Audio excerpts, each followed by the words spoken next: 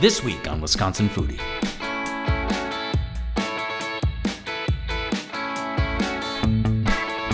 I haven't been to the state fair since I was 10 years old, and today is the day. French fries and some wine. yeah. Adam Pawlak, judge for the state fair Sporkies. The craziest, most creative, most fun food that tastes really good too. So this is just straight hedonism. That's super good. Yeah. If you can eat it, it's here. Yeah. or if it's here, you can eat it. You're handed food on a stick, you're just expected to try it. It's so fun to show off all of the amazing cheeses that come from throughout the state of Wisconsin. 404 entries in uh, 35 categories. We're at the Wisconsin Cheese Auction. The creme de la creme, literally. And we will award a Grandmaster Cheesemaker at the end of this contest. Okay, the 2023 Wisconsin Grandmaster Cheesemaker is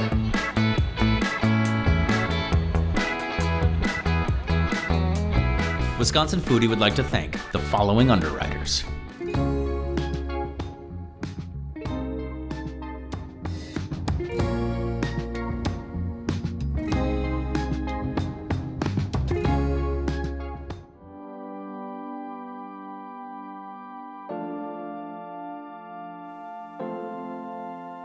Well, thanks again, everybody, for coming and helping at the contest. Really appreciate it. My name is Nicole Barlass, and I am the president of the Wisconsin State Fair Dairy Promotion Board. So today we are at the Wisconsin State Fair Dairy Products Contest, where basically dairy products from around the state of Wisconsin come in to State Fair to get judged, and we will award a Grandmaster Cheesemaker at the end of this contest. So when it comes to the state of Wisconsin, we still are America's dairyland. And when it comes to producing top quality cheeses and dairy products, we are number one. So it's so fun here at the Wisconsin State Fair to show off all of the amazing cheeses that come from throughout the state of Wisconsin. And it's really neat to see the number of different varieties, types, and styles that come here to the state fair and how amazing those cheeses taste. This is the behind the scenes moment for our dairy products contest. Basically, as you can see, there are a lot of boxes, a lot of cheese and dairy products coming in here. Our board members basically sort them into different classes. So the hard cheddars are in one class and flavored cheeses might be in a different class. Our curds are in another class. So we're taking those classes, we're opening the cheeses up, we're presenting them to the judges, and then bringing them back behind the curtains to repackage them up and put them away. Well, it's Randy Swenson. I'm a cheese judge for the Wisconsin State Fair Cheese and Butter Contest, and I've been judging at the contest for nine years. Today we have 404 entries in uh, 35 categories today. When the judges are scoring, they're basically starting with a 100 point score system and they're deducting points from there. First of all, they'll pull the plug out and they'll smell it, and that's your odors where they're looking for off odors and everything like that. And then they're holding onto the cheese and actually feeling the textures and the bodies of it, which could be curdy, could be a little corky, could be either firm, soft, weaky, or pasty. And they'll take a certain amount off of that if it's very slight, slight, definite, or pronounced. And then they'll put that cheese in their mouth and they'll actually taste it. And that's when you're going to take points off for if it's acid, bitter, uncleans, anything like that, salty or too high of salt or too low of salt. And then after that, they're actually going to look for the color defects also. So that's what they're looking for to actually come up with the score for the cheese in every class. There will not be a cheese that scores 100. There's going to be something off on every piece of cheese. You're not going to get 100. If you get 100, I want to see it. Every time this time of year, I get all excited for the state fair. I like to see the cheeses come in. I get to see all the stuff made in the state of Wisconsin. I think the quality of the cheeses through the years is getting better and better, and that's due to all of the Wisconsin Master Cheesemaker programs that they do at the Center for Dairy Research. Every year it gets better and better. That's a, that's a really nice. That's a really. That's good my one. favorite one. That's a really good one. That and then the raspberry. So after this dairy products contest today, we basically are able to identify our class winners and our first, second, and third place cheeses today. Those cheeses actually stay in coolers until August when fair comes and they're actually put on display at the Wisconsin State Fair. All of the rest of the cheese that comes in is actually sold today. It leaves in a truck this afternoon. Um, it goes to a local purchaser who is able to sell that cheese, which supports scholarships and our dairy promotion activities at the Wisconsin State Fair. And then what we do is we actually host a dairy products auction during the Wisconsin State Fair where the first place cheeses are actually sold. And again, all of those funds come back to our board to benefit dairy promotion. I haven't been to the state fair since I was 10 years old. And today is the day. We're on the way. In order to establish a little bit of credibility, I have with me my son Silas and Arthur's son Ilya, and we're on our way to Bayview to pick up owner and chef of Egg and Flour, Adam Pawlak, who actually serves as a judge for the State Fair Sporkies, a competition to basically discern the most interesting and unique foods at the State Fair. I'm super excited to walk through with all this additional perspective and hopefully find some of the culinary treasures that lie in the state fair. What's, up, brother? dude? How are you oh, doing? I'm great. How are you, my the man? The legendary truck. exactly. It's We're a here. van. A van. Legendary van. Jerry Seinfeld's got comedians in cars getting coffee. We've got chefs in vans getting curds. Getting curds and everything else. Yeah, seriously.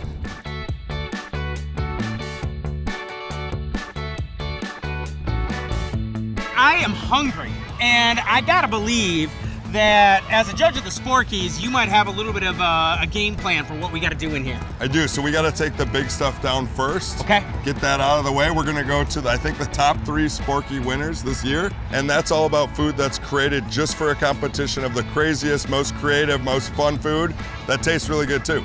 Okay, So go easy on me, would you? That's not up to me. That's up to the fair. The fair is now in control. In your destiny. yeah, exactly. Well, should we go in? Let's do it. Let's do it. I gotta say, this is definitely a feast for the senses. Like, It is. The first thing that you're going to smell is either the animals or the cheese curds. Yeah, and it's kind of a beautiful hot mix of both. Yeah, it is. That's the whole point. There's something about being from the Midwest where you like kind of get into that half horse, half funnel cake, half cheese curd. And the best part about it is that you're okay with it. Yeah, exactly. And Like- you don't even realize you're okay with it because you're just walking around appreciating it. Exactly. It's just home.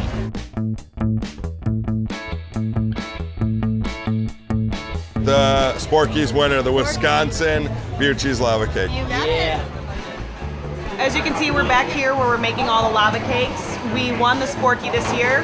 Yesterday was one of our slower days and we sold 1,800 orders. Our busiest days sell about 5,000. All right, my man. So we're starting at the top. We're starting at the top. Number one this year, Sporky's winner, the bun from Milwaukee Pretzel Company. They fill it with beer cheese uh, soup. And then there's hot honey and then your classic movie theater salt Yeah. that you need. This is gonna be a good bite, isn't it? This is good. It should, it should explode. It should be in there. This is one of my favorites when I was judging for sure. So Okay, let's give it a shot. we'll do it right here. I gotta say, like that hot honey, it's the perfect foil to like all that rich saltiness. But this is like I think all the things in like the Midwestern palate: salty, sweet, fat, and then you Tons get that. Yeah, exactly. And it all kind of comes together in one Yeah. super cheese stuff bite. And that little sweetness, like Yeah. that, that's like that, that what helps it. If anything, it's just gonna be a pretzel with cheese. You know, I think that's what takes it over.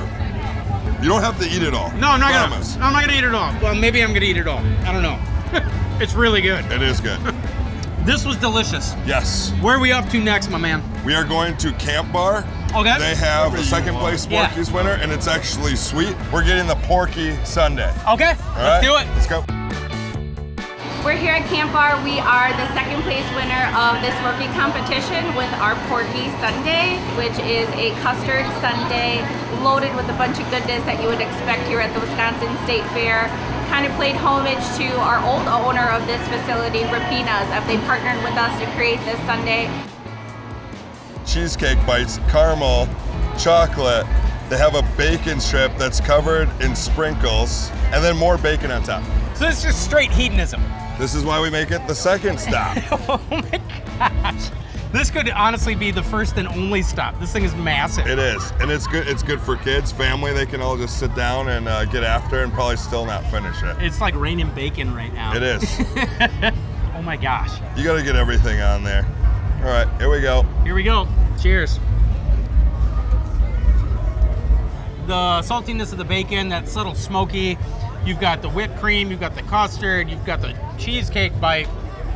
You've got the sprinkles, the cherry, the graham cracker. Keep going, keep the going, keep caramel, going. the chocolate, like all of it together. Yeah, I kind of feel like the bacon's like the nuts on a Sunday. You know, something sweet and savory is like that. Their take on that. Well, uh, you know, it's going to be a tough act to follow, but uh, that will. sounds like a legitimate uh, endeavor into our culinary future. That's right, and we're heading over to uh, to Saz's. All right. All right, Let's go. What do we got on that map?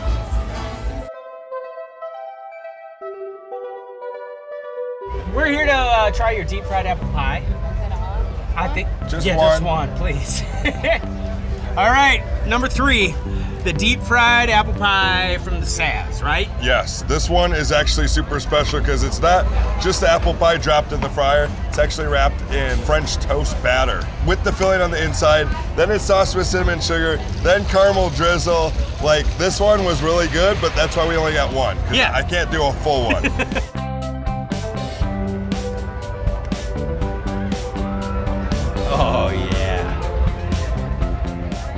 The moment of truth. Mm. That's super good. yeah, it is a winner. Rich custardy filling. You get that cinnamon and sugar nuance. Obviously the apple. Yeah, this is this is legit. I was talking about this at the Sporky Sales. Like, not only is the creativity, but it's about the way that the food is cooked. The apples are cooked perfect. They're not under, they're not over, it's not mushy. You know where they are. It's kind of like a surprise in there. Yep. I love it. Apple surprise. Very, very good one. we'll finish this one. Yep.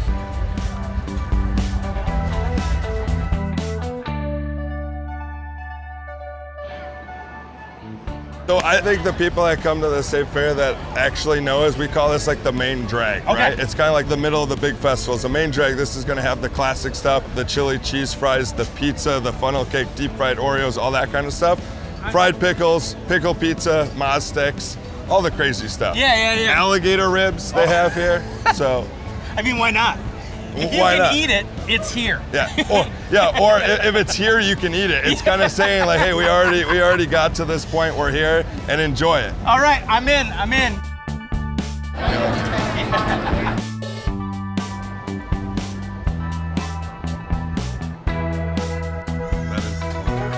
Yeah. Thank you.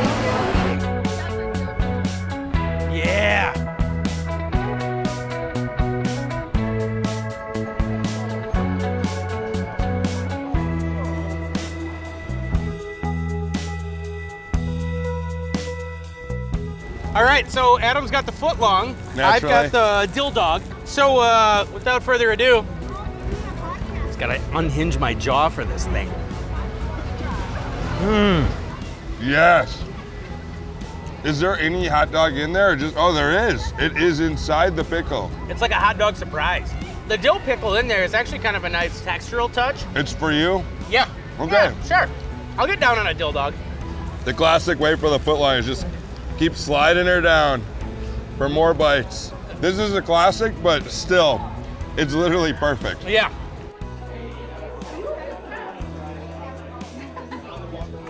All right, so now we are in the wine pavilion, correct? Correct. And we are here with our good friend Jessica Bell. Jessica, you're no stranger to Wisconsin Foodie Productions. No, Um, good to be back. And since I don't drink, I just get to facilitate this wonderful conversation. I love it. About the Wisconsin wine flight, correct? Correct. So we have four flights. Okay. And I've chosen the Taste of Wisconsin. So the Taste of Wisconsin are based on all grapes that are grown in Wisconsin.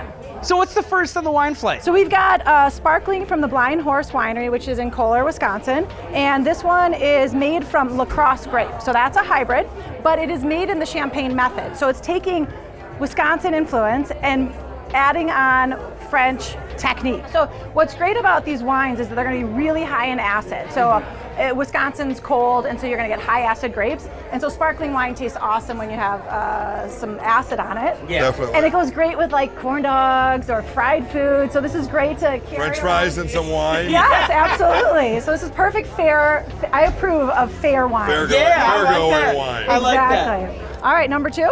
So we've got Cold Country Itasca. So this is a new grape that's hit Wisconsin, and it's got a lot of promise. This is the wine that I would drink. So if we can get a case of this, All right, this is he's it. on camera. There is He wants no a burn. case. There is no burn to this. I could drink a lot Isn't of this. this a It's clean really wine? Yeah, good. Okay, number three. We've got El Maro. So you guys are Oh, familiar yeah, with El Maro.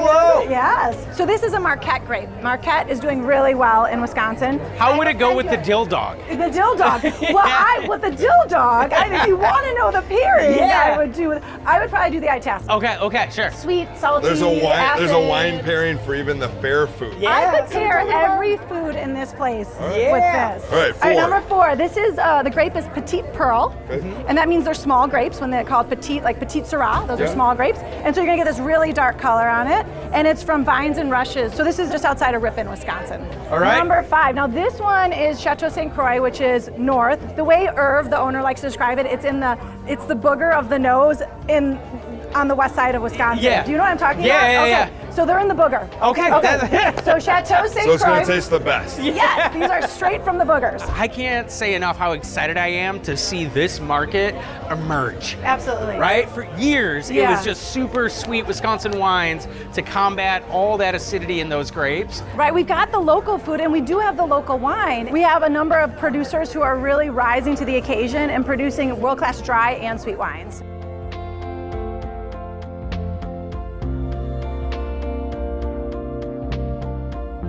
We're about to check out the Wisconsin Products Pavilion, which for me is the most exciting part of the fair. Getting to see like the innovation and the love and the care and the craftsmanship that goes into all this. I'm so excited. A lot of options, and this is something that you have to come to. A lot of people bypass and think it's just about the food. It's really about these products as well. One of my favorite stands that they have is the grilled cheese. Literally just sitting there all day, ripping grilled cheese for people. you know, one of the good stands for sure. In a really Midwestern way, this whole pavilion is dripping with swagger.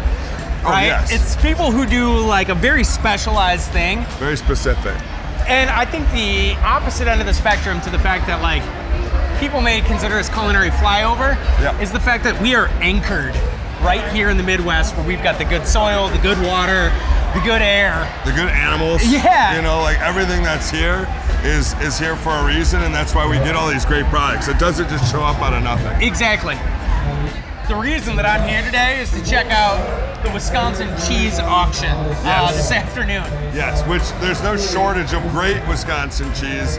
Everything here has a place. And you were telling me about some of these that I haven't seen before, but they're actually very like prominent and what they're doing is super special to them. You know, you see smoky pepper all the way to the Sartori that we love and the Roth. I could go by this case and have 20 or 30 new recipes using this cheese and not using the basic stuff that everyone's used to.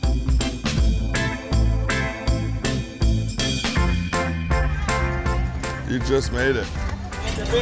Yeah, that's what I'm talking about. Thank you. Yeah.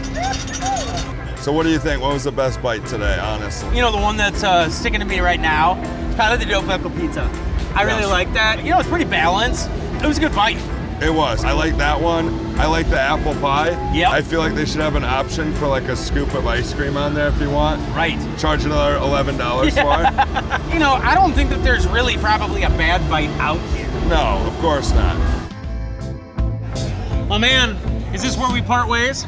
This is where we part ways. I got to get back to the restaurant. You have to go uh, to the cheese auction. Yeah. I appreciate you having me. I hope you uh, enjoyed your first ever Wisconsin State Fair.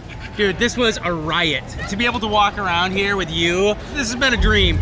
Uh, I'm a huge fan of you and everything that you're doing in Milwaukee. And my brother, anytime I can return the favor. I appreciate you. Come down the egg and flour, and we'll eat as much pasta as we ate here. All right, that sounds great, man. Have a good day. Appreciate Yeah. you.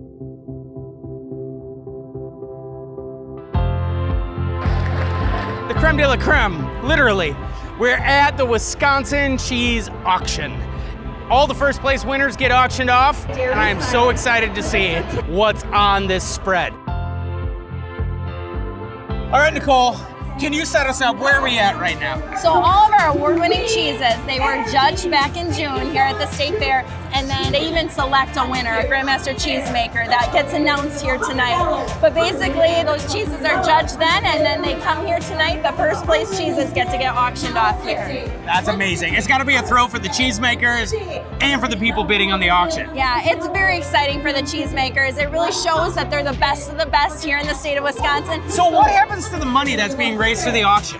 Yeah, so all the money that's earned tonight from this auction gets reinvested in dairy promotion here at the Wisconsin State Fair. So all of the fairgoers that come here to Wisconsin State Fair get to learn how milk is turned into cheese and other dairy products and how they get to enjoy those high quality products. That's amazing. And the reason that I think it's so amazing is like the Wisconsin farmers, the milk, the cheesemakers, the butter, all that is so deep in our identity and DNA. It is. Do you feel like being from Sheboygan, you have a special angle on that? Absolutely. I'm a dairy farmer. Yeah. So, I mean, we always have to celebrate America's Dairyland. And we are so proud of the high quality products that are here in our state and all the people that put the time, effort, and labor into making those products from the milk and the farmers milking those cows to the people making those products. Well, thank you so much for your work and your endeavors to really raise the bar of consciousness on the Wisconsin dairy industry. Because as a chef, I can say we play with the finest palette of ingredients anywhere in the world. And that's all thanks to you, the farmers. So much love. Well, thanks for being here, and we hope you enjoy some cheese here tonight. Oh, I certainly will. Thank you so much. Thank you.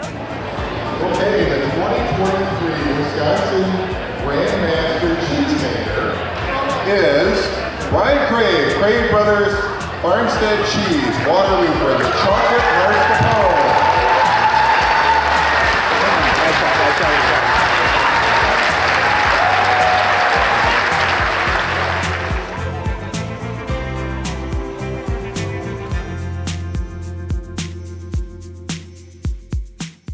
Now hurl the cheese like a frisbee. Hopefully, with all this perspective, we'll be able to piece together some amazing culinary experiences. Additionally, I just missed my right turn. Uh, so, we're gonna double back and grab Adam. But this afternoon, we also get to attend the cheese auction. Get in the van! The What, executive what are we even what are we even doing back here? Why are we even shot? I don't even get it. Man, this is going to be some good people watching today. That's the whole reason I come here. Eight dollars a ticket to watch people all day. I'm putting it with my collection. Yeah, do it. You got an inflatable monkey collection? Wisconsin Foodie would like to thank the following underwriters. The dairy farmers of Wisconsin are proud to underwrite Wisconsin Foodie and remind you that in Wisconsin, we dream in cheese. Just look for our badge. It's on everything we make. Did you know Organic Valley protects over 400,000 acres of organic farmland? So, are we an organic food cooperative that protects land? Or land conservationists who make delicious food? Yes, yes, we are. Organic Valley. Employee owned New Brewing Company has been brewing and bottling beer for their friends only in Wisconsin since 1993. Just a short drive from Madison, come visit Swissconsin and see where your beer's made. Wisconsin's great outdoors has something for everyone. Come for the adventure, stay for the memories. Go wild in Wisconsin. To build your adventure, visit dnr.wi.gov. 20 minute commutes, weekends on the lake, warm welcomes, and exciting career opportunities. Not to mention all the great food. There's a lot to look forward to in Wisconsin. Learn more at inwisconsin.com. With additional support coming from the Conscious Carnivore, from local animal sourcing to on site, high quality butchering and packaging, the Conscious Carnivore can ensure organically raised, grass fed, and healthy meats through its small group of local farmers. The Conscious Carnivore know your farmer, love your butcher. Additional support from the following underwriters. Also with the support of Friends of PBS Wisconsin. Are you hungry for more? Then go to our YouTube channel and subscribe. And be in the loop every time we release new content, behind the scenes footage, and new episodes that you can preview before anyone else. Check us out.